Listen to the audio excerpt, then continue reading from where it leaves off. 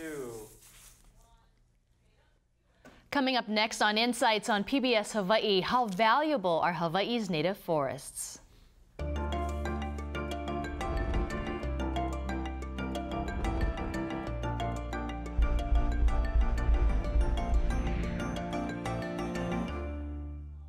Aloha and welcome to Insights. I'm Mahealani Richardson, your host for tonight's program. According to the State Department of Land and Natural Resources, Hawaii has lost more than half of its watershed forests. The native trees have been harvested for wood, cleared for development, or attacked by invasive species. These forests are more than just part of the lush green backdrop in a tropical home. They also help replenish our island's drinking water supply, prevent erosion, and provide a home for many native species species, many of which are endangered. We invite you to join our conversation by calling, emailing, or tweeting your questions and comments. Now to our panel. Lisa Hadway is the administrator for the Division of Forestry and Wildlife within the State Department of Land and Natural Resources. She's responsible for management and oversight of nearly 1 million acres of state land, including forest reserves. Ulalia Woodside is Kamehameha School's regional asset manager. She oversees the Natural and Cultural Resources Management Division. Ms. Woodside also represents Oahu on the Board of Land and Natural Resources. Jim Roumasset is a professor of economics at the University of Hawaii Manoa. His research interests include environmental and resource economics, as well as water and watershed management. And Sam 'Ohu Gon is the Nature Conservancy of Hawaii's senior scientist and cultural advisor. He began working as an ecologist for the conservation organization in 1986. And good evening to you all. Thank you so much for joining us. Great to be here. Thank you. Good to be here. Ms. Hadway, I wanted to start with you first because there's actually breaking news right now of a fire in Mililani Mauka um, damaging an incredible amount of land and threatening some native species. Can you talk about that? Sure, sure. Sure. So right now, as of this evening, the fire is approximately 400 acres, and it's burning in the um, Oahu Forest National Wildlife Refuge. Um, we actually are assisting uh, our partners, the city, uh, Hawaii, uh, Honolulu Fire Department, along with uh, the U.S. Fish and Wildlife Service, has staff uh, on hand. Today we had five helicopters working out there. It's in a really remote place. There's no roads or trails there, so the only way to fight the fire was um, with the helicopters.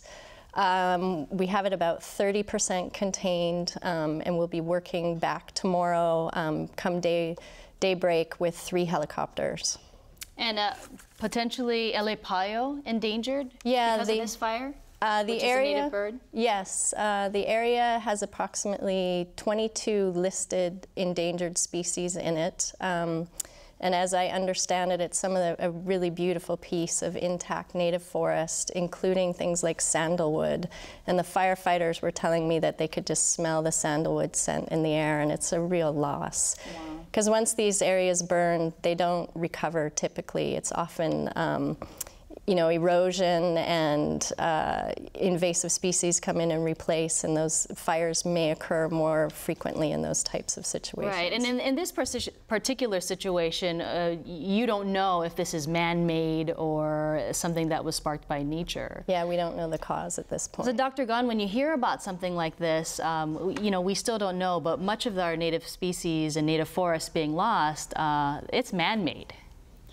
Well, a lot of the loss of loss of native forests has been as a, a, result of human activities, either directly or indirectly.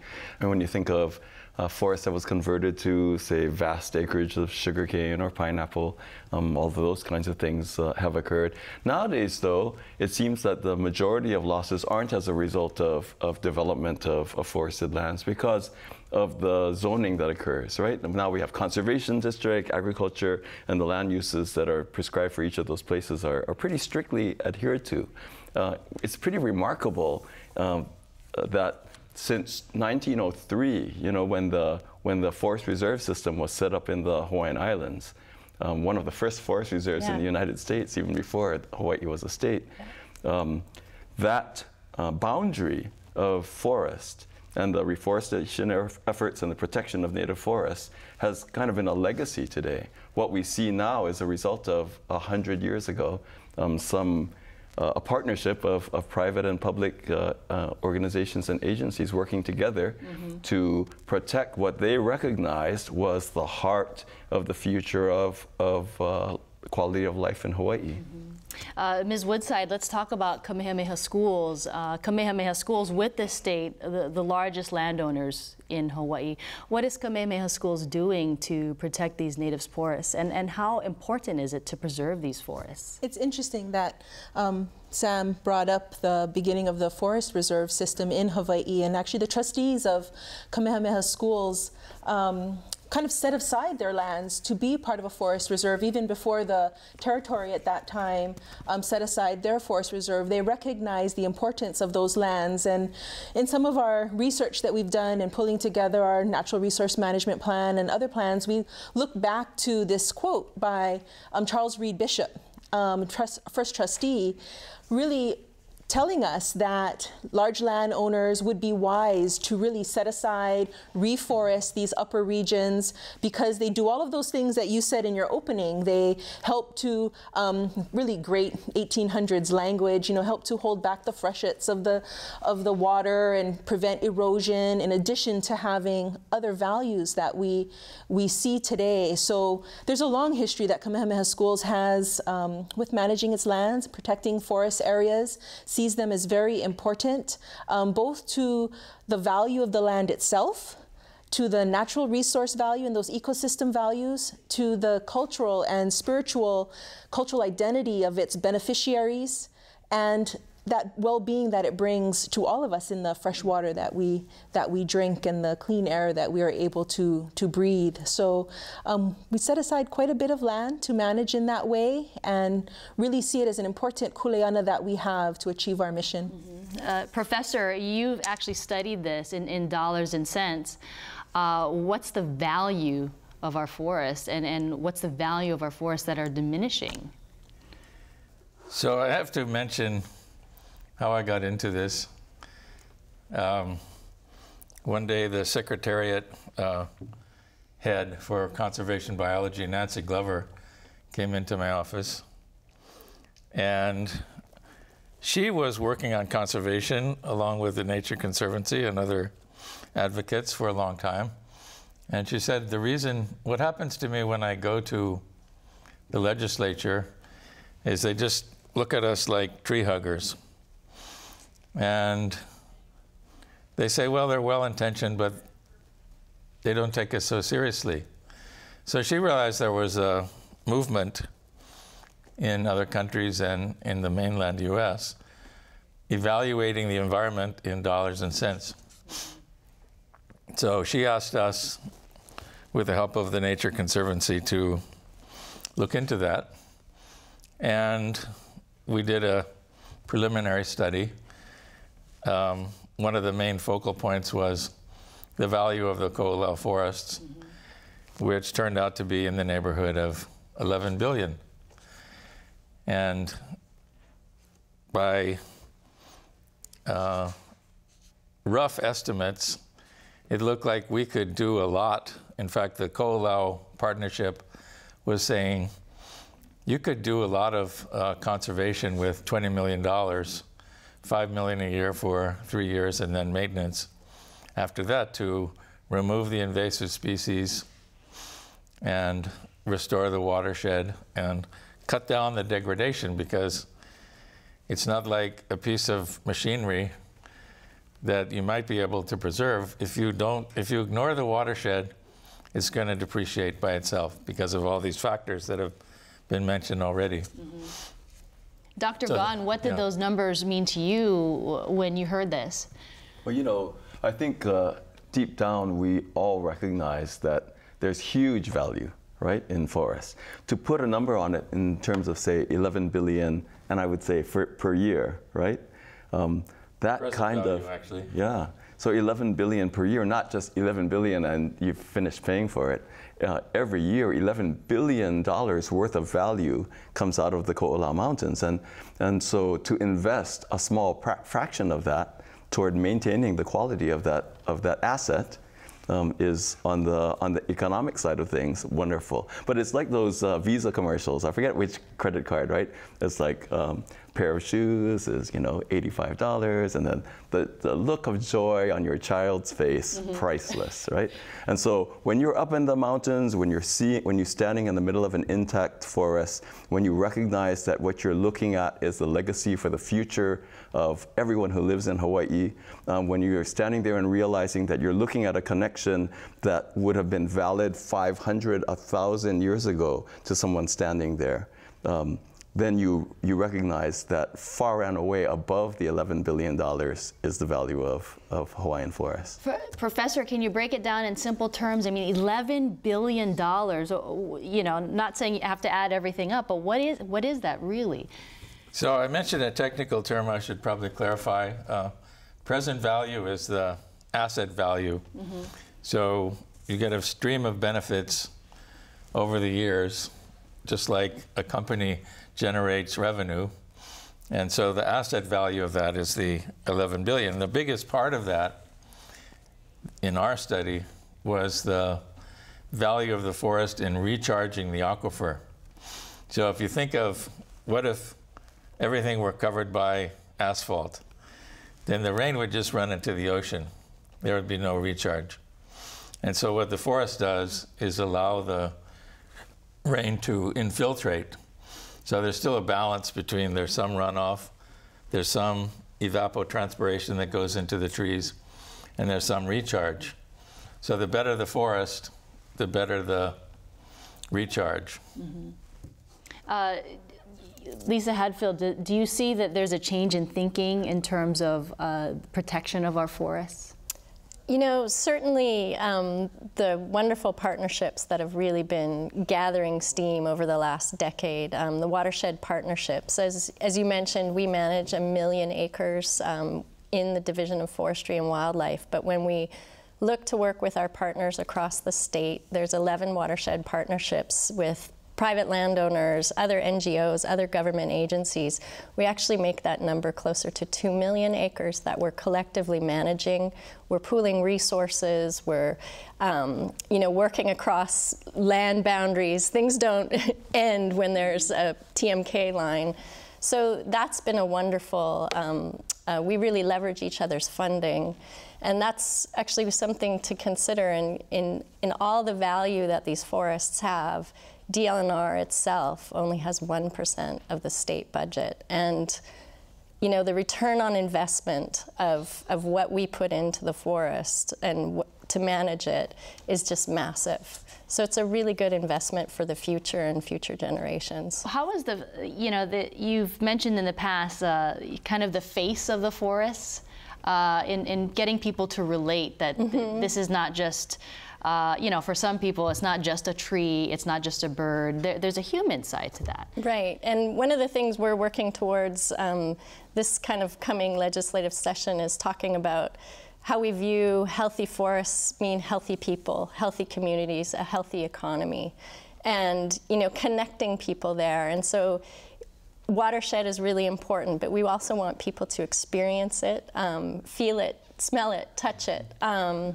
And you know, people getting out, whether they're hunting, hiking, they're they're out in nature, and that's a lot to um, people's health, uh, getting active, both physically and mentally. Mm -hmm. So.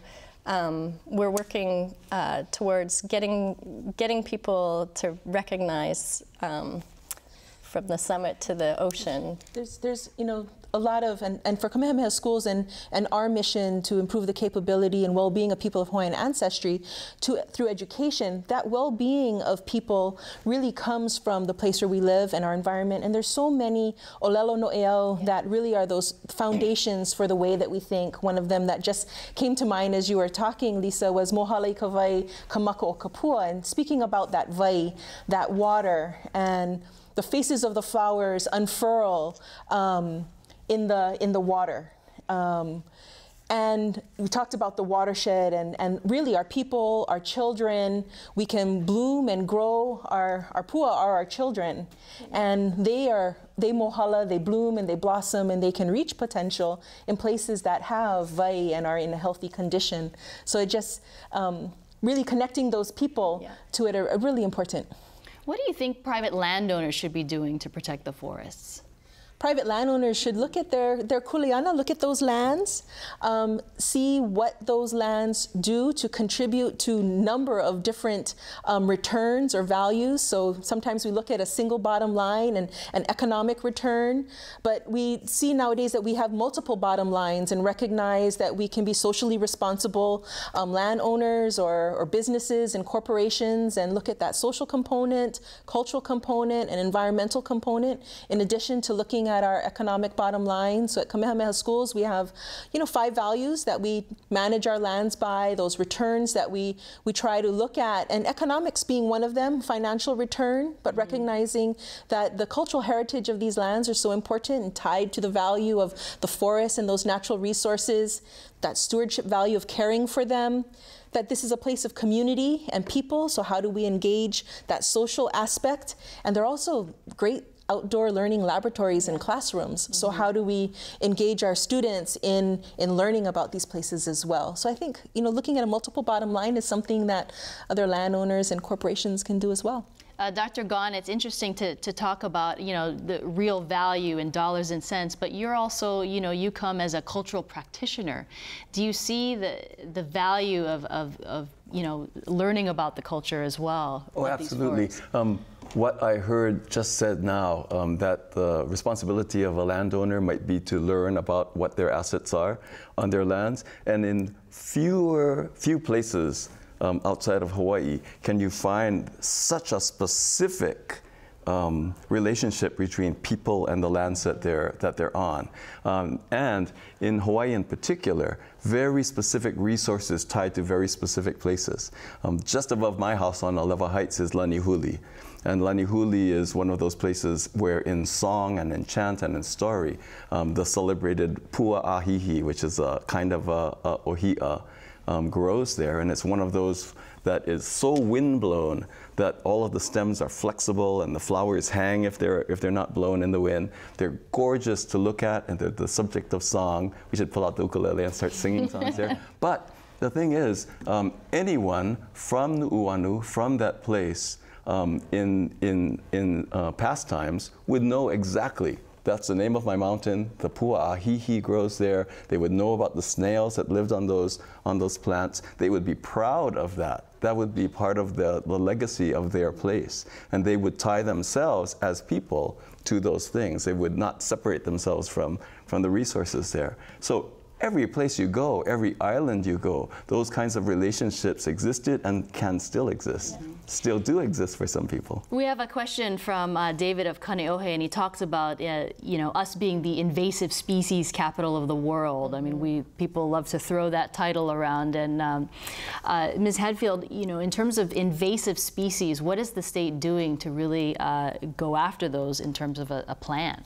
Well, certainly the along our department, along with five other state departments, formed the Hawaii Invasive Species Council. And so it's all the department heads um, from Department of Agriculture, DBED, um, and they all work together collectively on the council and um, work towards uh, putting funds uh, both for stopping, hopefully, further invasive species from coming in, but also trying to tackle the ones that have already made it here from further establishing, such as the coconut rhinoceros beetle is getting worked on right now. Um, little red fire ant. I mean, it's it's moving through the state, and we're trying to prevent that from happening. And so it's a real collective. It's not mm -hmm. just the efforts of DLNR. We also have very well established invasive species in some of our forested areas, and our crews, uh, we have amazing staff that, you know, they go out on Monday morning and they don't come home until mm-hmm. Friday often. And they're out there working in the pouring rain, you know, camping in the mud. But they claim to have some of the best jobs in the world. So that's actually what we do a lot of um, youth conservation corps work. We work with Kupu, um, and we do a lot of um, job, green job training and getting kids out in the forest to, you know, think about a future in natural resource management. And my apologies, your last name is Hadway, Hadway. by the way. so sorry. Can uh, I add something Yes, that? Professor, what is the, you know, in terms yeah, of invasive so species, there's so much being spent uh, oh. to try to get rid of them, but, you know, where do you see things from your economics so perspective? It would help the audience probably to have an example. So the Miconia tree um, is one of the risks to the watershed. It's taken over 70% of the landscape in Tahiti. And what it does, it's actually a beautiful ornamental, which is why it was brought here, but it tends to kill off the understory. So the ground becomes hard, and the water pools in the leaves and falls off in huge drops and runs off. So it becomes a tree that's a little bit better than asphalt, but not as good as other trees, uh, other trees that have already been here. Not only native trees, but when, if you look at pictures of Nu'uanu in the 20s, it was entirely denuded from cattle ranches. So when they replanted, it wasn't only native trees, it was all kinds of different trees. But we know that that was good for the aquifer because even though they were using a lot of water for sugar, the well levels went up. And of course, now they're going back down again. I'd like to say a little bit of something about invasive species. Mm-hmm. That, that, that uh, viewer mentioned that Hawaii was viewed as the invasive species capital of the US, let's say. Um, and there's a good reason for that. When you look at the Hawaiian Islands, we're in a tropical setting, but you can have everything from snow capped um, alpine systems to tropical wet, warm, to the wettest spot on Earth, to nearly the driest spot on Earth. Every single uh, ecological um, setting that you can imagine might be here, which means that for any invading organism anywhere in the world, they could find their sweet spot somewhere in the Hawaiian Islands, establish a foothold, and then find how far they can spread from there. Um, sometimes it's not a matter of whether or not the environmental conditions are right, it's whether their enemies, their natural enemies that they left behind because they were brought, brought in, um, aren't with them, and so they're free to spread completely uncontrolled. Ms. Woodside, is it is it a completely losing battle? Just, uh, I mean, sometimes invasive species are just brought in by the wind. I don't think it's a losing battle. Um, we, it does take some concerted effort. It does take resources and money, but um, as we were speaking before the show started, um, sometimes you have to put in that investment in the beginning, or as you were talking about, make this investment in the first, you know, five years, and then you get into a maintenance phase. So you have to really get a handle on it, get some control, and then you can you can uh, move into a maintenance phase. And in some areas with certain invasive species, we've been able to demonstrate that success. Um, partly when we work with um, partnerships, it's helpful because invasive species really don't know boundaries and they don't um, manage those landowner lines. But you can see across landowners sometimes when you put in the concerted effort in an area like with the Himalayan yellowberry or rubus, and you really focus on it, you can get it under control where in other areas you can see it just, just taking over. But it does take resources and it does take some effort. Um, what, what kind of resources are you talking about? Uh, what kind of resources, let's say, has Kamehameha invested, and what's the return on investment?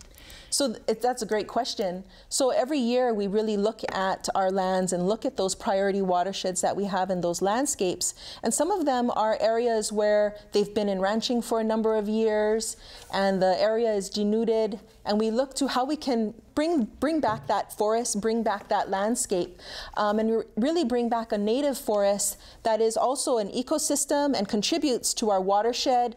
But at the same time, we recognize that we have a, a use relationship as well with these places. And how do we create an abundance of native resources that for future generations we can contribute to to their needs and cultural practices?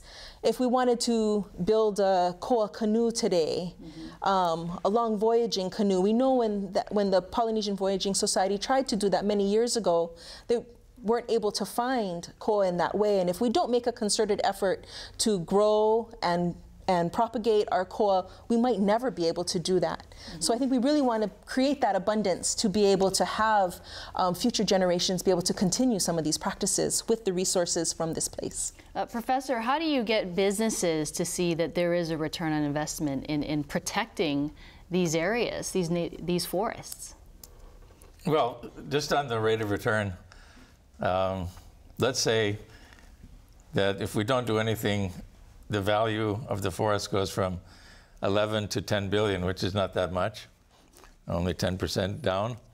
And we could uh, avoid, well, we'll probably go down 2 billion, but we can avoid 1 billion uh, by spending 20 million. So that's a return of 50 to 1. So you think about other things we're spending money on, like rail, which we think has benefits less than costs. Uh, we probably end up spending 7 billion. And so here we're asking for 20 million. It's a great rate of return. The business, business people are already aware of it. There was a survey done, and they said the most important thing for us ahead of infrastructure is conserve the resources and especially water. Uh, Ms. Hadway, uh, you know, you have to go to the law, you have to go to the legislature and ask for money all the time. And is it is is it really that easy to just say, oh yeah, you know, there, there's a huge return on an investment in protecting these forests? I mean, how do you get people to really see the value? I think you know, having having these kind this kind of information, having UH professors involved, having a broad um, spectrum of the community part of the story, I think is really critical to help get the message through. But having tangible numbers, 50 to one, I mean, that's, that's really impressive. And, you know, we're talking about, I think one thing we maybe haven't touched on is just how unique our forests are. Mm-hmm. I mean, we're essentially, we are the most isolated island chain on Earth.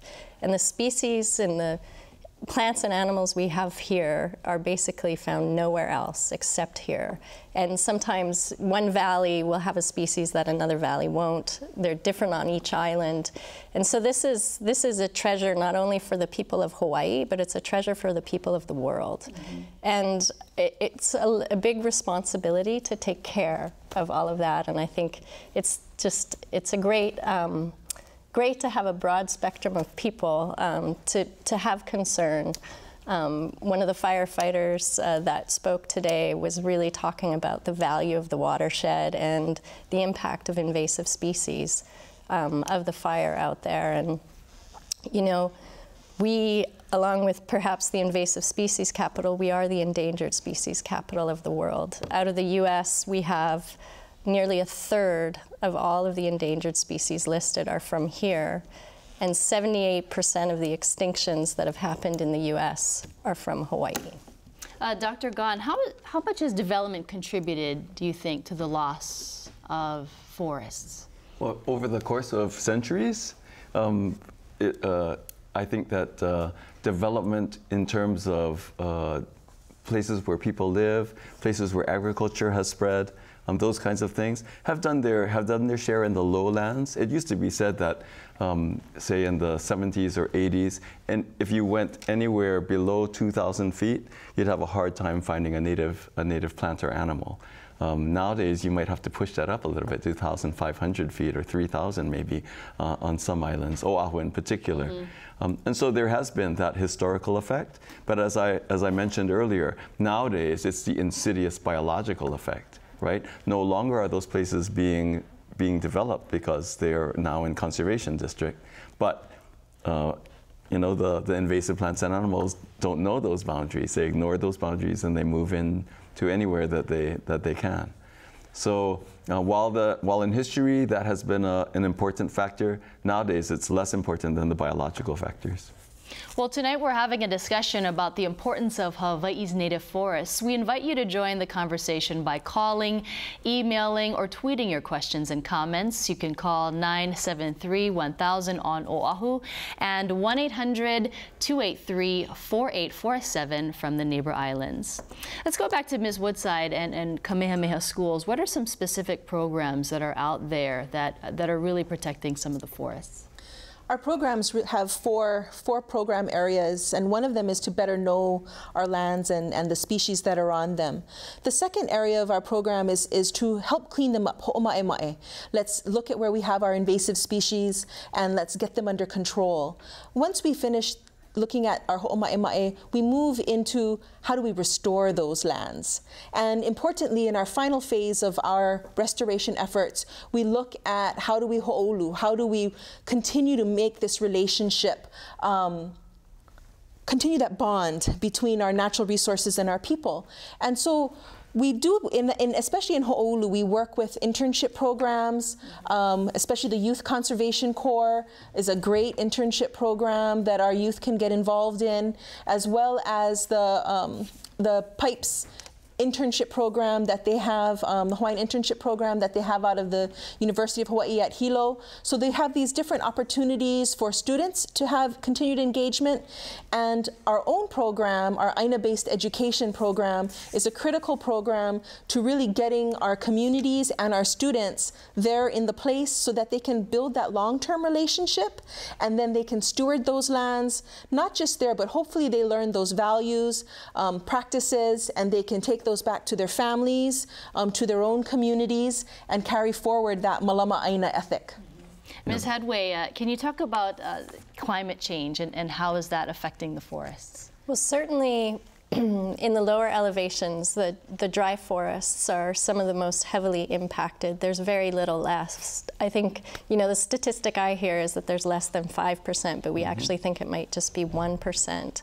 And so, um, you know, as we um, think about these areas and, and, and what, how we're going to protect them, um, we, um, you know, have to really strategize about what we're going to do and where we're going to do it. And um, it's, it's, uh, it's really a challenge in, in certain areas, um, but again, the partners really help us mm -hmm. to achieve that. I, I, you know, the, she mentioned dry forest, and and and dry forest uh, makes you think. Okay, forests in Hawaii. Well, I always thought it was just tropical rainforest. Yeah. But in Hawaii, you can have dry forests, you can have mesic forests, you can have seasonal mesic, and then to moist forests, and then to wet forests, mm -hmm. and then to bogs, and all right. kinds of things.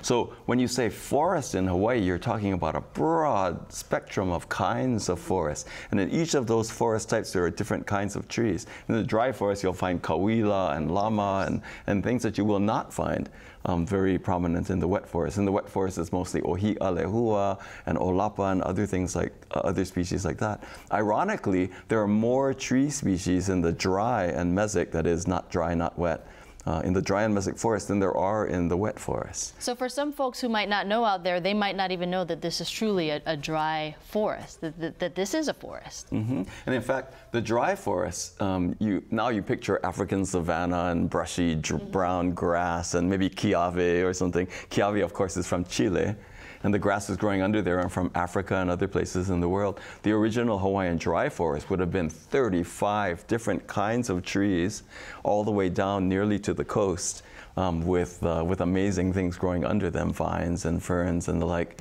Um, over the, over the lava and other substrates. So we have very few examples of that left, and it's really amazing um, to see them when you find them. And then even more important, to recognize them, protect them, and to manage them. So one of the horns that I want to blow on behalf of Kamehameha Schools is, as an ecologist with the Nature Conservancy, one of my first tasks was to classify all of the different vegetation types in Hawaii, including all the forest types, um, map where they are, and then, uh, and then identify priorities for their protection.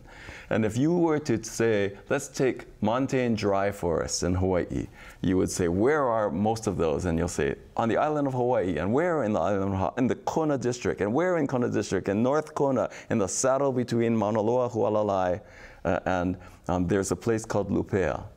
And if you had to choose one place to find the heart of the dry forest that remains in the Hawaiian Islands, it would be that spot. And in that spot, um, is, uh, is the Lupea Fence project of Kamehameha Schools. And when I first visited that spot, they had just completed a section uh, of, that, uh, of that fence that prevented sheep, which were, you know how browser, browser sheep can be, they can denude anything.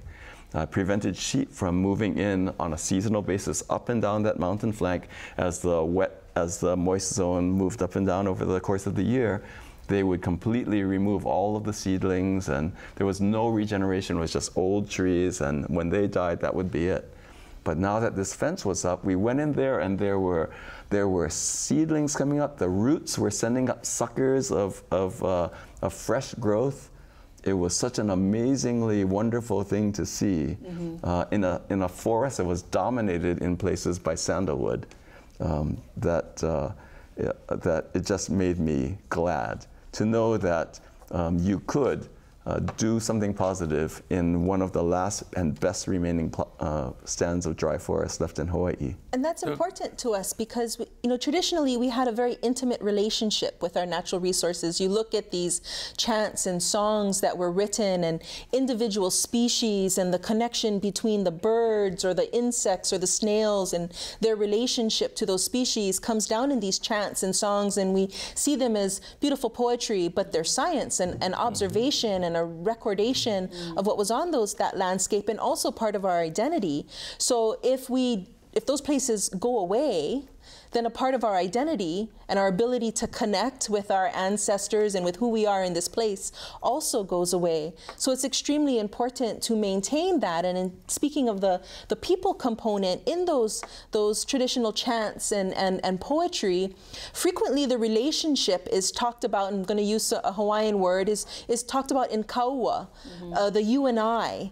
And so when we talk about, you know, the forest, I'm going to go into the forest, and you and I, Laka, are going to go and do things. That's a real personal relationship mm-hmm. that traditionally we had with these places, or we talk about ourselves, mako, we are the, the caretakers, the kahu of these places. So how do we make sure that we have those places so this intimate relationship can continue? Mm-hmm. And then we have those species so that we continue to, to write this beautiful poetry and have this recordation and this inspiration of our identity um, from these places. Professor, I know you wanted to jump in. Go yeah, ahead. going back to climate change, uh, you would think that if the earth warms up, there's more evaporation and there's more rain, which is true in most of the world.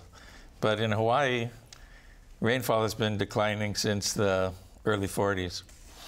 And one of the consequences of that is the stream flow is going down. So Delwyn Oki at USGS has been measuring these things and has concluded that the stream flow is partly declined because the aquifer levels have gone down, but mostly because rainfall is going down because of the ocean circulation patterns.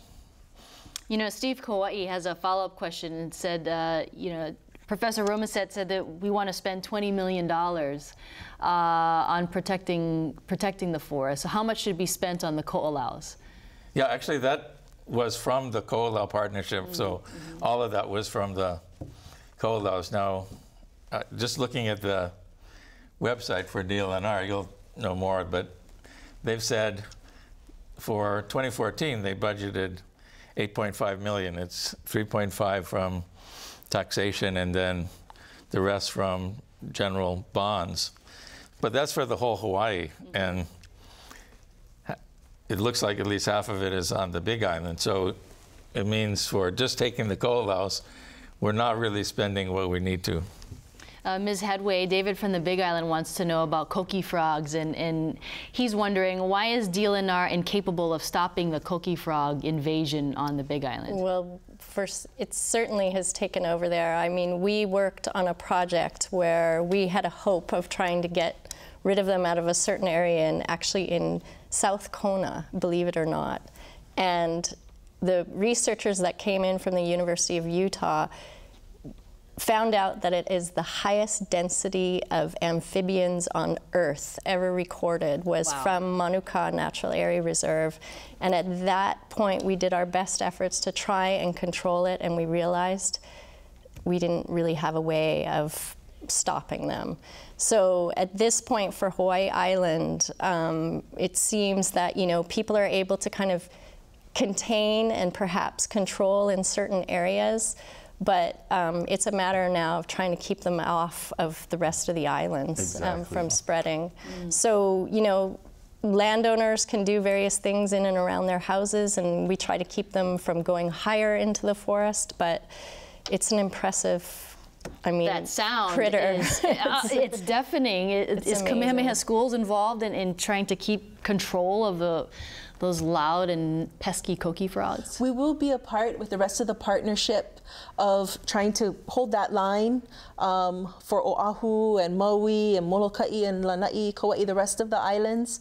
Um, and, and so we'll join in with the invasive species um, to do what we can um, in order to to hold that line. But on Hawaii Island, we're not we're not engaged in managing um, the coqui. Professor, uh, looks like a losing battle. Do you think it's just a lost cause in, in your mind? Well, I won't get into the biology, but that is a good example of uh, environmental valuation. Mm-hmm. Uh, Dr. Kimberly Burnett of UHERO did a study, and it's one of the techniques that is used in environmental valuation. So basically, what they did is say, what's the difference in the value of your home if you have a lot of coqui frog noise or not? So you can actually get a uh, economic value from that technique. But essentially, if you have a lot of coqui around your home, your land value goes down. Yes, yeah. it does. Oh, wow. I mean, it, you've been out there in the forest yourself. It's, it's pretty amazing. It's amazing. And the, the saving grace is that they're easy to detect. And so the moment they show up on an island that doesn't have them, um, and as long as people are aware and report them immediately, then teams can go in and deal with them before they get out of control. And that's happened a number yeah. of times on several different islands. Dealing with them in what way, and is it safe? Oh yeah, um, there are several different ways that, that coqui can be can be dealt with, and a, a lot of them involve spraying not not uh, dangerous things like citric, uh, citric acid, citric acid mm-hmm. and even caffeine will take them down. Yeah. Um, so, I mean, not that I'm saying you want to spray your coffee on them, but. Uh, someone from Waianae wants to know what is the correlation between water rights and Hawaii native forests? Can you go into that? Oh, wow. Yes, um, I, I, would love to. Um, there is no water rights without water. And so if you have native forests and you have an intact watershed, then you have the water to argue about. Um, if, you, if we don't take the time to protect the source of that water, then it doesn't matter what rights you have because there won't be the resource to, to deal with. So at step one, in the, in the, in the stage of, of talking about water rights and watershed protection, watershed protection needs to be primary. Mm-hmm. It's all inclusive, it's not one or the other. Mm-hmm. Absolutely. So in Waianae, for example, that's a prime uh, uh, example of the description of springs that used to exist in the at various uh, valleys and, and areas on, in the White Waianae that no longer run. And, and, it was fairly clear that as the forest declined in the Waianae Mountains, as those areas dried up even further, lost their watershed ability, um, uh, you lose the, the springs, you lose the water. Mm-hmm. I see you nodding. Yes. Yes. Just in uh, agreement. Yes. yes. In, in agreement with with 'Ohu, and also to recognize as 'Ohu was talking earlier, just the area of land that would have been covered in, in native forests, you know, 100 years ago or, or 200 years ago is different than what we have today, mm-hmm. and it's been changing over time. Um, and so recognizing that the area that would have been contributing to our watershed would have been would have been different over time and that's something for us to think about as we're we're really talking about that upper zone right now that Wao Akua that we're viewing as that high value watershed but we can also help and contribute by recognizing that what we do in the Wao Kanaka area is a contributor to either enhancing our, our water resources or contributing to to degrading those water resources more.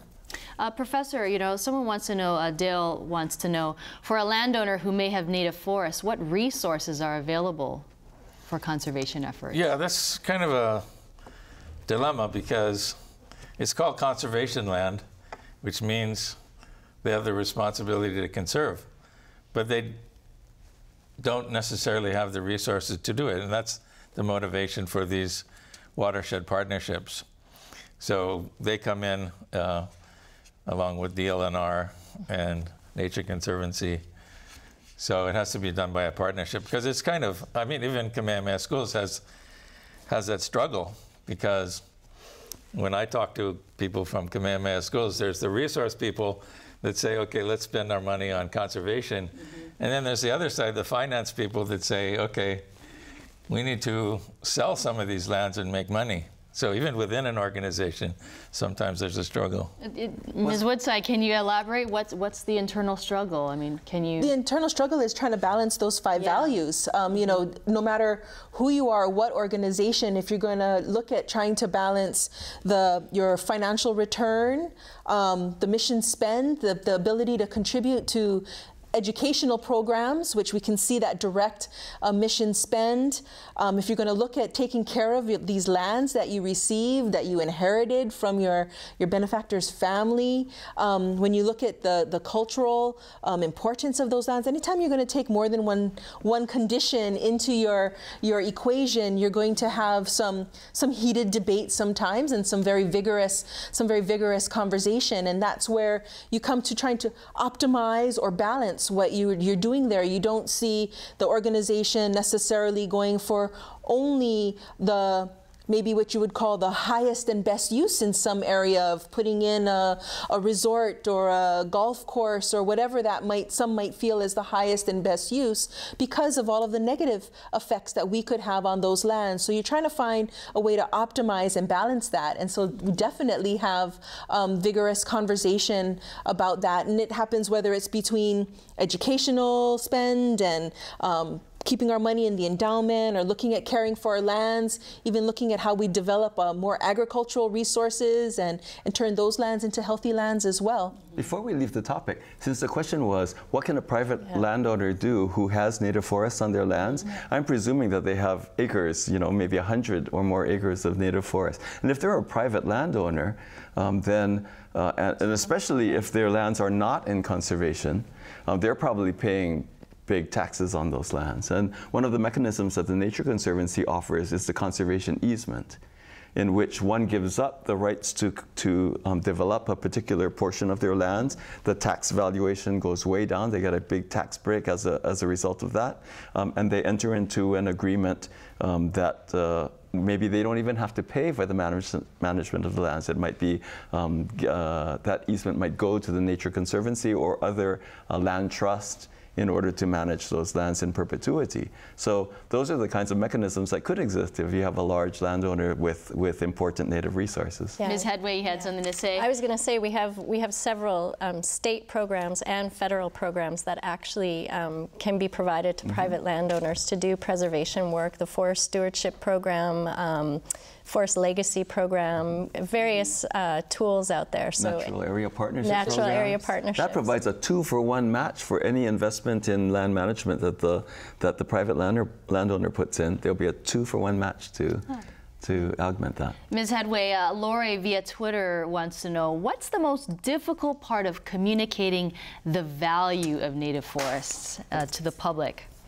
I think um, for us, it I always love to take people out into the forest. and like I said, to be able to see it, smell it, touch it, feel it. And I think that has a big impact. And so, how to convey that value when you know you're sometimes driving down the road and you're seeing only high rises. So, mm-hmm. you know, we want to connect a lot with kids through educational programs, um, and you know, I think just getting our staff out there, um, being at community events and those kinds of things, and again, giving people the opportunity to connect and looking towards resources to actually make our trail system better so that people can actually connect with it more and easily. most kids out there, they're not connecting with mm it. I mean, yeah. where they're living in an urban environment. Or right? in an electronic virtual world. Yeah. Mm.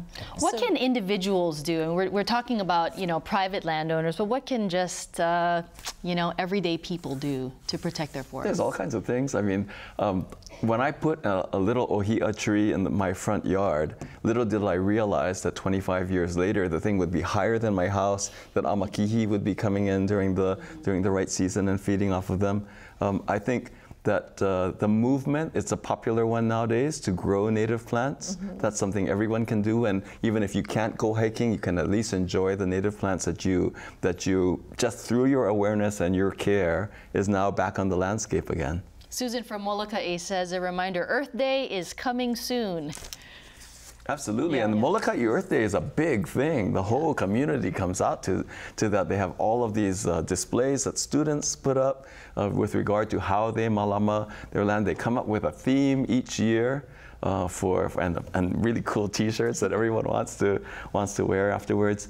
Um, so the the Earth Day movement, you know, April and April is when Earth Day is celebrated, um, is a big thing on Molokai and should be a big thing everywhere. Uh, Professor, uh, someone wants to know, Anita from Waipahu wants to know uh, the value of native forests on tourism. Is there is there a link? Yeah, so in our study, uh, environmental valuation and the Hawaii economy, we went into that, and, the, and part of the 11 billion dollars that I mentioned uh, included ecotourism and just the aesthetic value. I mean, you you think uh, cold-blooded economists wouldn't put a value on that, but actually we take that into consideration. There's a method called contingent valuation where you ask people two different scenarios with beautiful open spaces and say urban or something like that. They actually put a value on it. So those were taken into account. Yeah. It's interesting, uh, you know, maybe 15 years ago we started hearing the word ecotourism and it was something new and now it's, it's uh, happening amongst businesses every day, right? And I think there's a big opportunity for growth in edutourism and voluntourism, mm -hmm. where you have people actually out getting their hands into you know, the land and helping us plant trees and, you know, really good interpretation and those types of opportunities, being able for people to be able to understand and be, um, have the opportunity to learn about what we have here. Uh, Ms. Woodside, there, there's an educational value to that as well, right, with students? Absolutely. I mean, there's limitless um, educational value um, from the youngest child all the way to um, a graduate student, postdoctoral student. Um, the educational, we, we, we, we, did look at one time um, something like a piece of the forest um, and what it would take if we had all of these students that were able to go to that forest, engage in learning in that in that place, have these experiences, and what would the cost be if we needed to try and recreate that same experience for them to have that learning that would happen in that place, whether it's just the observation, whether it is the research, and it really is um, more economical not to, I'm sure the economists might agree with me, but more economical for us to actually maintain that forest and that area, that outdoor classroom, than it would be for us to try and recreate um, that same outdoor classroom hmm. um, for our students. Professor, do you agree or? Yeah, I'm, thoughts? Um, I'm thinking of, everybody knows Peter Vitousek, yeah. mm -hmm. who's from a prominent Big Island family and a very famous evolutionary biologist at Stanford. And he talks about the spectacular ecological niches in Hawaii uh, that would put Galapagos Island to shame. Um, and so there's a payoff to science, but as, as you're saying, there's a payoff to all of us in learning these things, and there's connections that you've also touched on with, with the culture. I mean, there's no Hawaiian culture without the Aina. Professor, how have you seen people's attitudes change about uh, forests and protection of forests over, over decades? Um, well, there's some, I mean, we always think the progress is slower than it should be, but uh, think of this recent initiative uh, called the Rain Follows the Forest at DLNR. So Governor Abercrombie was talking about this. And so it's, it's coming to the conscious, especially the importance of the watershed for the water resources and if we don't do something, we're going to be desalinating water, drinking ocean water before too long. Dr. Gon, your thoughts on that? On, on progress in, mm. in, in people's uh, consciousness? Yeah, you know, I, I did mention earlier that, uh, that 20 years ago, putting a native plant, plant in, your, in your yard would be unheard of you know, you would buy an orchid from someplace or get an anthurium or, or like, in fact, many people would think that an orchid was Hawaiian or an anthurium was Hawaiian or a plumeria. But you can point to the different countries from, from which those uh, ornamentals come. Uh, and now, now it's like you see these obscure, strange looking little ferns and shrubs and sedges on sale at, uh, at uh, um, Home Depot, Home Depot and, and kind of going off the shelves because right, people, right. ooh, what native plants do you have? So the awareness of the awareness of the uniqueness of Hawaiian of the Hawaiian ecosystems and species, that's growing. I think the idea of sophisticated travel, uh, tourism, -hmm. um, is growing so that there's more of a demand to know what is the real, right, Hawaii? rather than sipping on a Mai Tai underneath a palm tree, you could do that in Florida or you could do that in any other tropical location. It's interesting because when there, there's a demand, uh, business will follow because there's money there as well, right? Yeah. Or the other way around. If the Aina declines, then the money declines. the economy will decline. Mm-hmm. I think the other thing that's also contributing to the awareness is a sort of a global awareness as well. Nowadays, we're so connected with our devices and our different social media. We can see some of what's happening in other places that may be in a, a worse off condition as it relates to erosion or that that that what happens when climate change and your inability to care for your natural resources comes together. And so we can sometimes I think we can see that what we, what could happen to us if we don't care for our lands, if we don't have those forests to help us with erosion, to help us with our own our own water system, we can end up like some of these other places mm-hmm. that maybe haven't haven't done have been impacted by so many other things. You so I think I think that global awareness when you see from somebody something else, and we're so connected nowadays, it's everywhere. Um, that that's also been contributing to and our awareness as well. Along the lines of global, um, Hawaii was just selected as the site for the International Union for the Conservation of Nature World Conservation Congress is going to be held here in September 2016. And, and on that note, yeah. We're going to be looking forward to that. But I wanted to thank you all for a really lively discussion and a very hopeful discussion as well as we look toward the future. Thank you so much for thank being here tonight. Thanks a lot for having us. Well, next time on Insights, Hawaii's public schools provide middle and high school students with a sexual health curriculum that teaches adolescents about their bodies and methods to keep them safe. But some worry that children are being taught too much about sex too early. Others point to Hawaii's high teen pregnancy rate as evidence that students are not being taught enough. How should Hawaii's public schools educate students about sex? That's next time on Insights on PBS Hawaii. I'm Mahealani Richardson. Ahui ho.